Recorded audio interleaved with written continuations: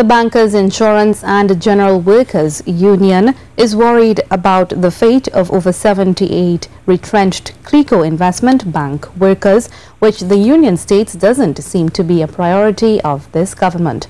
In a release, the union says that while the interests of the central bank and the financial institutions are fully protected, there is no protection whatsoever for the retrenched workers and therein lies the utter vulnerability of workers in the financial sector.